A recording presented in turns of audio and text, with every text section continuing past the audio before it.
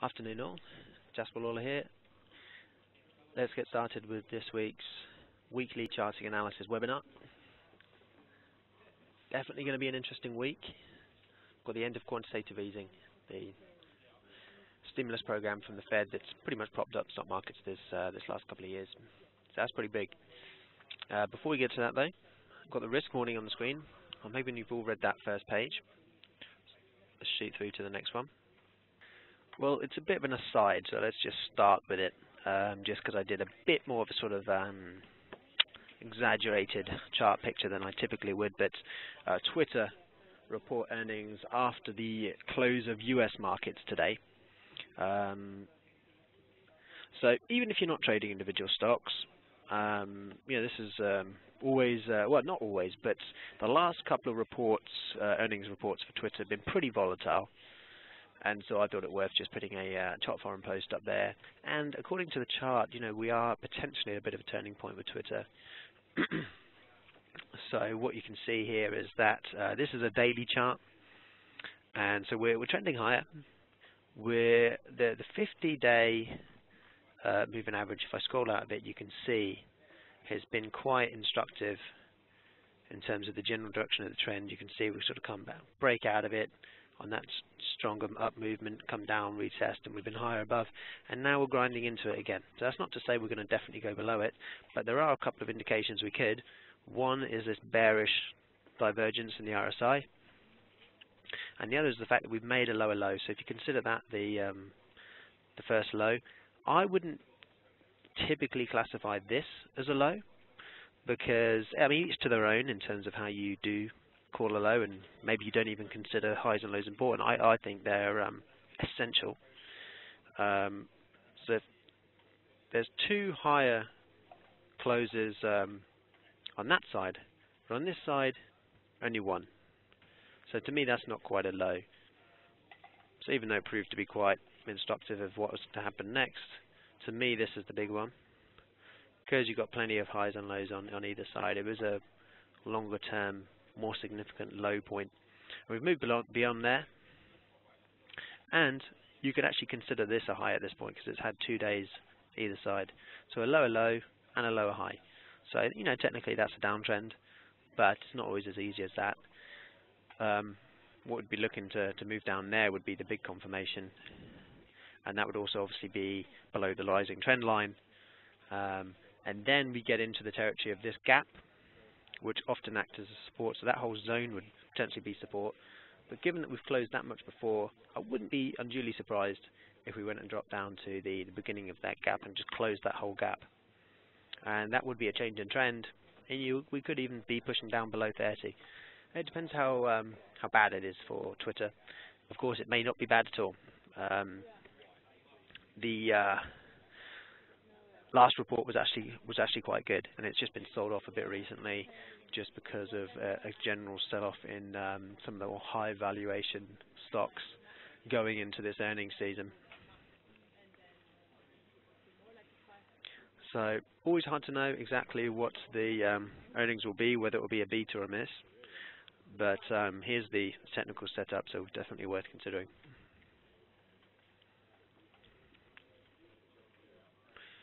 Now back to markets as a whole. Um, I'm going to go straight to the, the German DAX just because um, the big data that we've seen so far today was the German IFO. So that's just a business sentiment report that's pretty widely watched. And there was some hope that after, uh, I believe, six months, no, five months of declines, there was some hope that actually we'd see a bit of an uptick this month, uh, and that's not happened. It actually is the same in terms of, of future expectations which is kind of the key one to what, because you obviously want to know what's going to happen in the future, not what people think about the current environment, but what they think about the future is key, uh, particularly in terms of businesses and whether they're going to invest in, the, uh, in some future projects. Um, so that was actually just the same as uh, last month, which is obviously not a decline, so that's good, but um, the, the rest of the report was a decline, and it still missed expectations. And so that has essentially undone the um, sort of positive feeling that came out of these uh, European bank stress tests that came out over the weekend.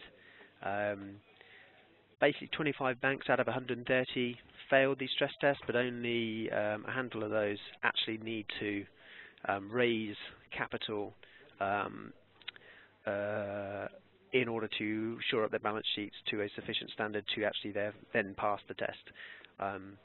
Why is that important? Well, the European Central Bank have been trying to stimulate the, the European economy because there's been um, low price inflation. And uh, one of the recent measures they did was this uh, TLTRO program. And uh, silly name, but all it is is just um, the offering of sort of cheaper interest rate loans to banks to then hand out to businesses. Um, specifically, the, the, the money has to go to lending towards a business to obviously stimulate the European economy, which has been in a, a rough state since the European debt crisis. Um, and so the thought here is that maybe now that this bank stress test is out of the way, um, banks don't have to worry about um, having sufficient money on their um, balance sheets. They passed the test, so now they can make some more loans again. And so this may be the turning point for when the European economy can pick up with um, banks now, feeling much more um, need to, much more able to uh, to hand out loans. And uh, so then, conversely, if the, the European economy does pick up, then you know there wouldn't be any need for the, the ECB to do full-on quantitative easing, and um, that would potentially be not such a good thing for uh, stock markets. But I would argue perhaps a good thing for the euro. The euro has been declining pretty massively since it hit 140, and um, you know if, if massive amounts of euros are not going to be printed in a quantitative easing program, you know that'd be kind of supportive of the euro. But as I mentioned, the Fed is uh, the U.S. Federal Reserve.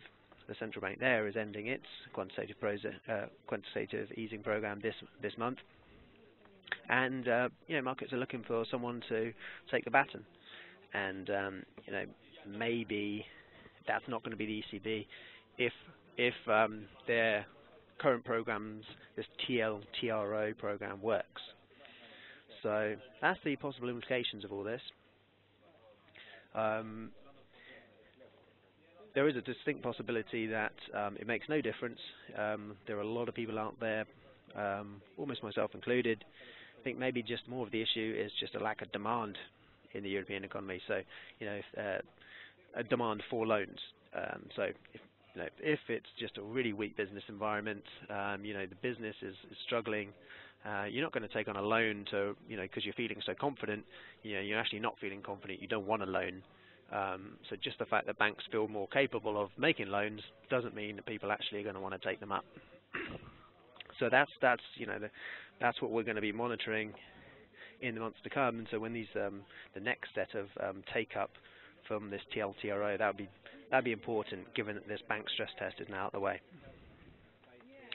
technically with the with the DAX, um, you can see it a bit better on the uh, the weekly chart. And I've mentioned this a few times now. This is the uh, sort of head and shoulders formation. So this would be the uh, sort of double-ish left shoulder, triple even. Uh, this would be the head. This would be the right shoulder. You could you could also call it um, triple top. I would say more accurately a, a um, head and shoulders. So it's broken the neckline that would be about, so you can either use that as a neckline, which would be the two lows, which do correspond pretty well, or kind of closing prices. And I would uh, closing uh, weekly prices. And so that proved to be perhaps a bit more instructive. And so that's where we are now. And you, you know, it's not necessarily a big coincidence. Uh, I had this line drawn in, you know, weeks ago. That's where we're reversing at the moment, and it's right around this 90-50 mark. So what we could have seen here, technically, is a pattern breakout, a retest of the breakout area, the neckline of the head and shoulders pattern, to subsequently make the next move down. um, so that's you know that's something to something to bear in mind, and um, that would put us you know with this, this sort of low down here, but I believe it's sort of about seven seven fifty or something. I believe is about the projection what you do is take the height of the head from the breakout area, perhaps this, the 90.50 mark and uh, project that downwards. So definitely an important price level right now. Um, you know, if this does, if this pattern does prove to be work out, you know, this would be, um, yeah, pretty. You know, if this if this was a retest here, and then it moves down, obviously this would be a great place to be selling, but we'll only know that with the benefit of hindsight. uh, this could be the end of the correction. Uh, this is about 10% from the highs, so a lot of people have that 10% number kind of in mind. You know, this could be the end of the correction, only for us to make up uh, new highs. A lot of that could depend, maybe not even on um, um, German domestic conditions, but more just the overall international stock markets and how things pan out with uh, US corporate earnings and uh, the end of quantitative easing. So with that in mind, let's have a look at the, the US 30. So here looks very similar. Um, so on the weekly chart, you can see this longer term trend line that I've got here, going way back since the bottom of the financial crisis in March 2009. Connecting this these lows here and so you can see we're well above that. So even if we did make a new low, which we haven't quite done yet, we'd still have the support potentially of that rising trend line. So still pretty constructive on the um, the US stock market. And obviously we've not even made a lower low on the uh, the weekly chart yet. This this level is um, you know you can see we bounced off there pretty nicely. So then it's a matter of, well, are we going to go down, perhaps challenge this line here, um, and the and the, the longer-term rising trend line? Well, then we need to sort of look at the um, the daily chart for that. This is what you call a sort of V bottom potentially, if it is in fact a bottom. It's been a very sharp move down and a very sharp move back up again. So definitely great market for uh, trading. A lot of big price movement. um, so what I'm kind of weighing up here is the fact that um, in terms of highs and lows, you know, this was really the last high that was formed is, is way up here. So still, theoretically, anywhere below there, we could still roll over and still be in the context of a downtrend. So, so if that was the last high, this was the last low, none of these really on a kind of daily basis classify as lows um, in terms of that definition that I previously used of just two higher closes either side. So this would be a consideration because this is, um, you know, you can see we kind of broke through there. We had these kind of two lows there. That could be big.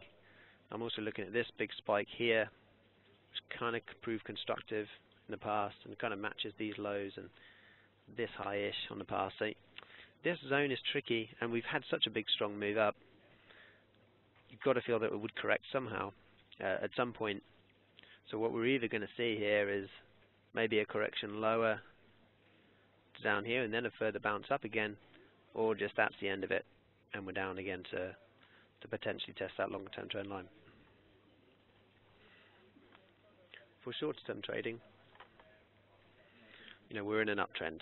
Um, got to be a bit wary of this movement from today. Um, harder to see the levels on the, the US 30, but um, obviously looking at that German DAX, uh, the Germany 30 chart, um, that um, you know that level is a bit more significant, and we're seeing a sort of similar reversal on this four-hour chart there. So potentially the, the beginning, the end for this correction. But as of the moment, we're still above the 50 on this uh, four-hour chart, and we're still above the 21 period MA. So default was you've got to assume we're trending higher, but you've got to be aware of this longer term picture. That actually, technically, we're still going down.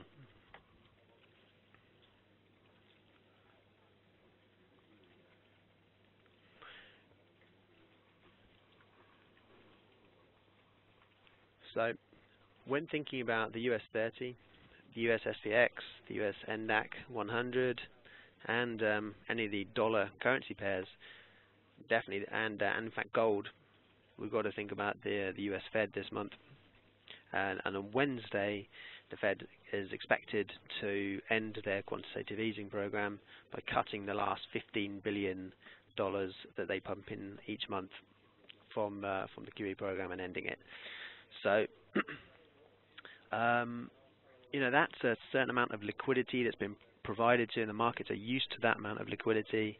Um, when you've got a big buyer in the market buying up treasuries and mortgage-backed securities, it's it's supportive of, of risk-taking in general. Um, people got a big buyer like that, you know, people just tend to be on the side of buying uh, rather than selling. And um, so when that ends, you know, it's, it's going to be down to the economy and the uh, stock market to hold up on its own. And it's pretty highly valued right now, so there's, uh, you know, there's a distinct risk that it won't be able to.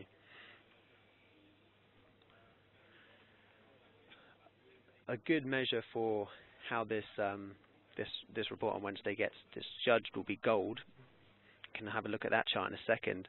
Uh, but just in terms of what to look out for in this report, you know, they're almost definitely going to taper the 15 billion. They may not. If they don't, that would be, I would think, pretty supportive of the stock market and also pretty supportive of gold. You know, the more they, gold did really well um,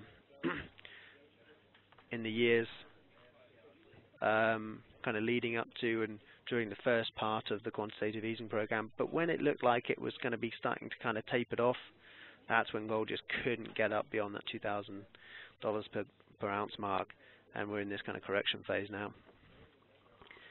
Um, so almost definitely going to taper, and that would be theoretically bad for gold, um, just because they're getting closer to raising interest rates and sort of um, going, uh, you know, uh, there's not going to be that much risk of sort of a hyperinflation in which you would need gold as a protection if, um, you know, if they're just raising rates to kind of, um, um, which generally acts to curb inflation what they could do is uh, change the statement.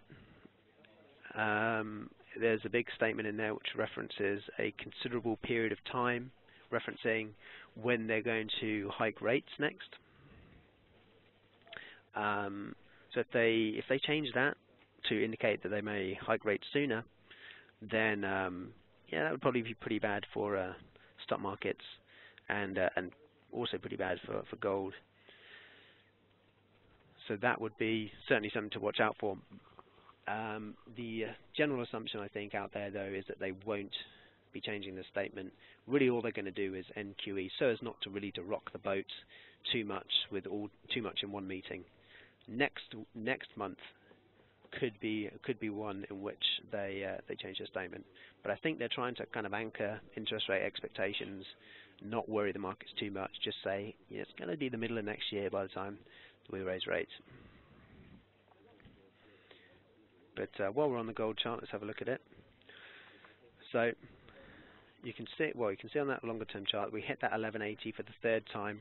We bounced off there pretty strongly, but we've now broken through this um, this rising trend line on the four-hour chart, and these two blue lines just correlate, uh, correlate to the um, the recent highs and lows as I, I judge them on the, the daily chart. So we've broken a rising trend line on the short term, but we've not broken below this um, this low here. And we're just um, we're just in a really sort of tight range because gold is very sensitive to the Fed and, and interest rate expectations. So a move below there doesn't bode well. we we could be in for another test of 1180 if we drop below this uh, this low blue line here, which corresponds to the kind of uh, most recent low. But we're above the low at the moment, and we have made a higher high just about. So even though we've broken this short-term trend line, still the general assumption would be um, that gold can hold above and, and at least retest the high again, perhaps make a new high, just with the idea that trends tend to last longer than you expect.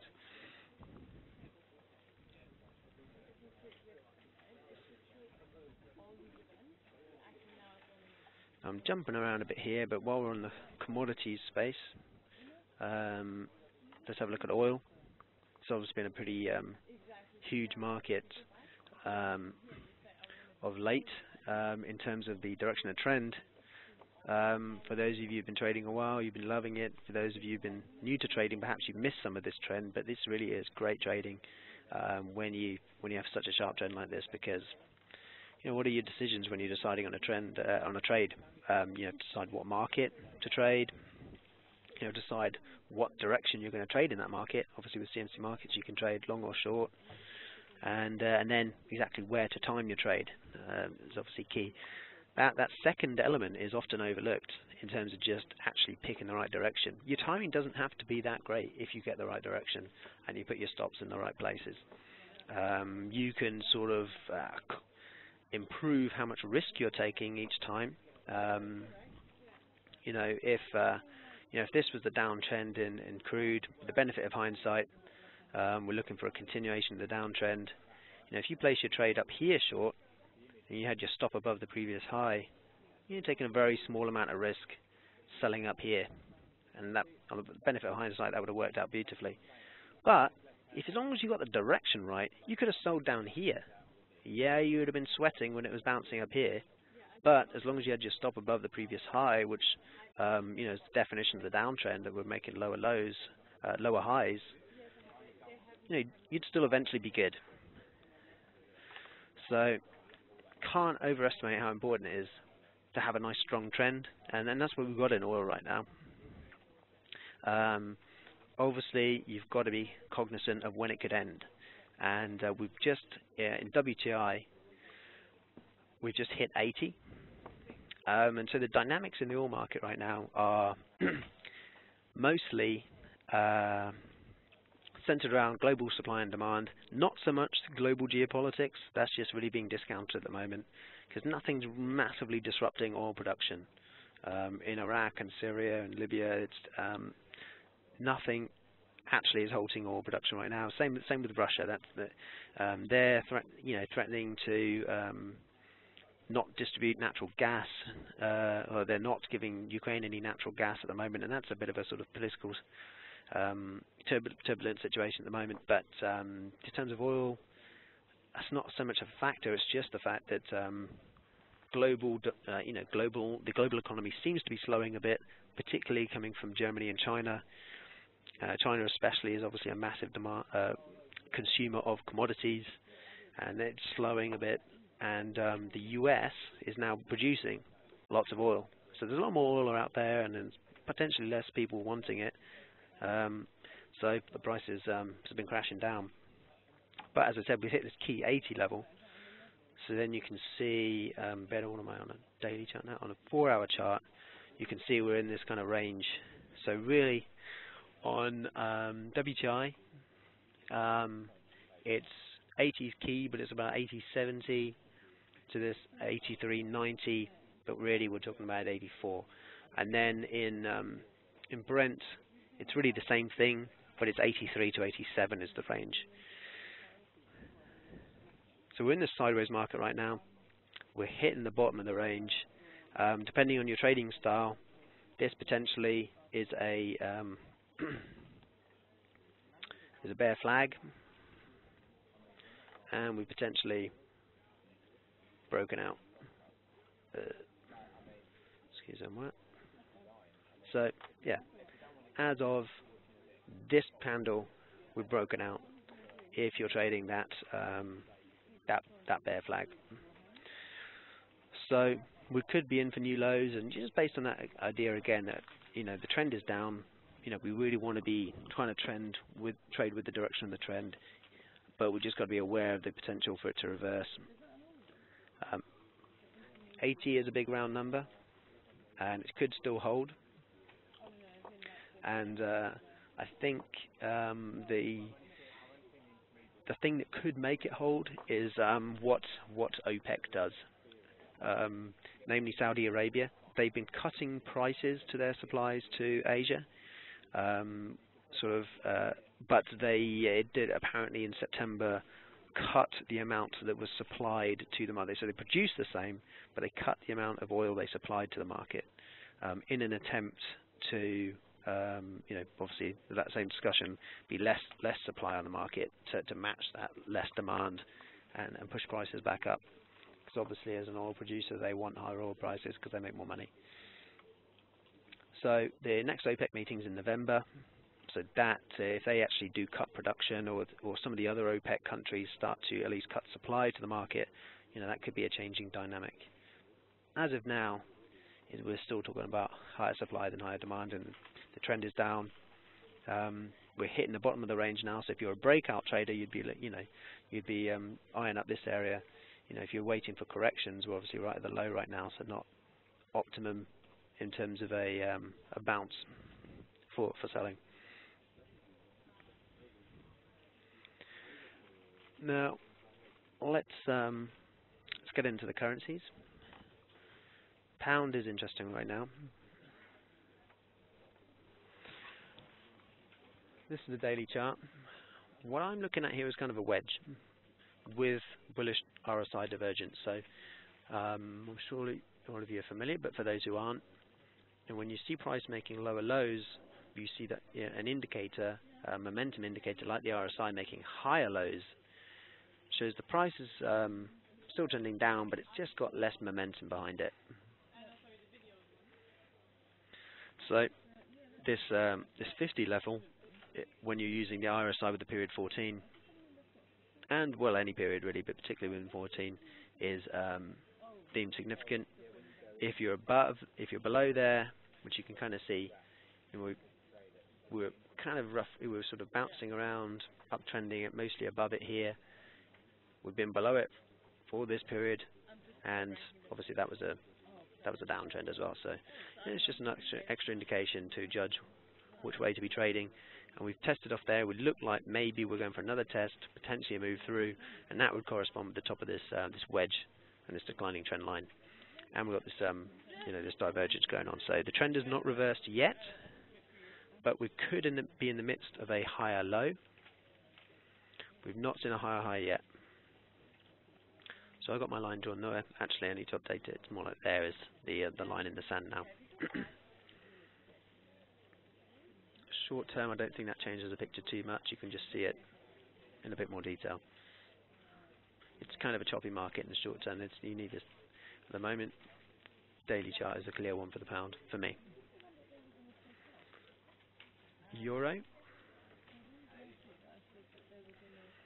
Um, similar situation. Euro's obviously tanked, but we've hit 125, the round number. We've gone up, hit 129, where we had this last period of consolidation. Obviously, that was a low of that area. No coincidence that we banged into that. We'll come back down, and we're in a kind of a range trading situation. And these blue lines that I've got on the chart, see better on the four-hour chart. There you can see it corresponds to the highs and lows on the daily chart, and here you can see it in a bit more detail on the short-term chart. We're in a range trade right now. So, with the benefit of hindsight, obviously, buying off these low at the bottom of the range is good. We've come off the round number around 127. Theoretically, we're going sideways in the short term. We've broken through this slight rising area, um, but probably ahead of the um, the FOMC on Wednesday, we're not going to get any gargantuan moves in in dollar pairs.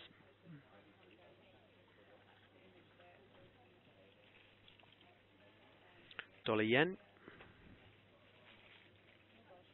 And uh, we're nearing the end of the, the session here, so um, any questions at all, pop, put it through the chat window, um, and uh, you know I'll get to that um, after the official webinar time. So um, for those of you who are following the chart forum, you would have seen this um, head and uh, inverse head and shoulders that I pointed to. Not quite made the target area yet, we're in this kind of um, uh, consolidation period again ahead of the uh, the Fed. We've got quite a bit of uh, data out of the out of Japan as well this week. We've got the, the Bank of Japan uh, rate setting meeting, so that will also have been that will also be of some influence.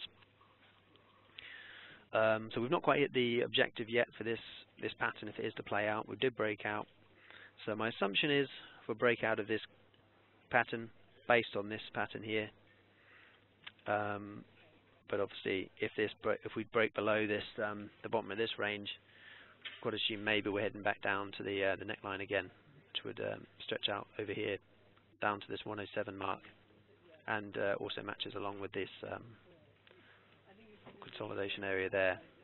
So below there, we're probably coming into this area, but still looks like a um, looks like a continuation pattern to me. where you have you know more like a, a kind of bull flag. There's the pole, there's the um, there's the rectangle, and then of similar up to 110 again. but uh, remains to be seen if in fact that plays out. Okay, I'm going to um, just stop the recording here. So any of those who um, have to get back at the end of their, their lunch break, um, thanks a lot for attending. Um, again, there will be a recording of this on YouTube should you want to check back, or, uh, or obviously feel free to share it. Um, for those of you who want to stick around, I've got um, a quick question here that I'm, I'm going to answer from the from the chat window.